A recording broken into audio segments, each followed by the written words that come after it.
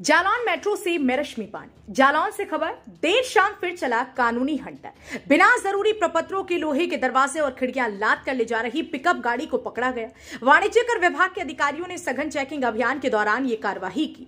पकड़ी गई पिकअप गाड़ी को जालौन कोतवाली में दाखिल कराया गया, तथा सामान ले जा रहे व्यक्ति से सामान से संबंधित ज़रूरी प्रपत्र उपलब्ध कराने को कहा गया।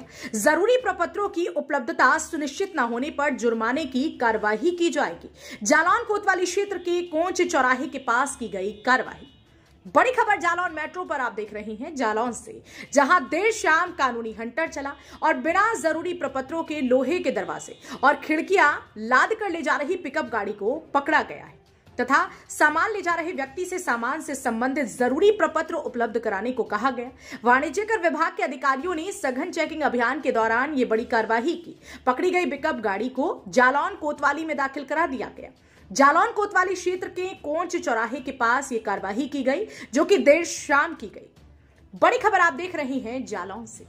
जालौन मेट्रो न्यूज़ चैनल को सब्सक्राइब करें और बेल आइकन ज़रूर दबाएँ, ताकि जालौन जनपद से जुड़ी खबर आप तक पहुँचे सबसे पहले।